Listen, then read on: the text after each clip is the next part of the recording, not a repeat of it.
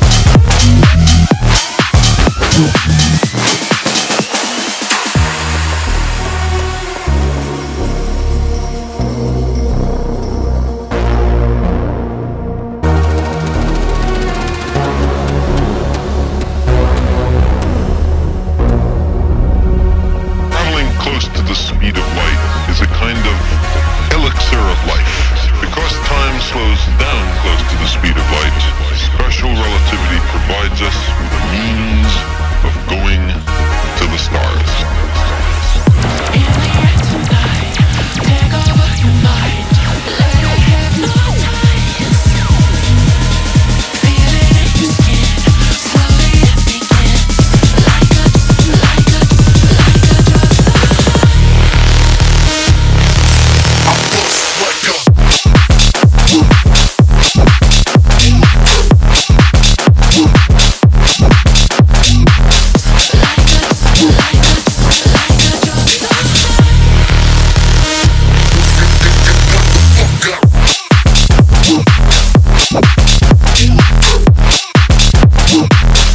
shit.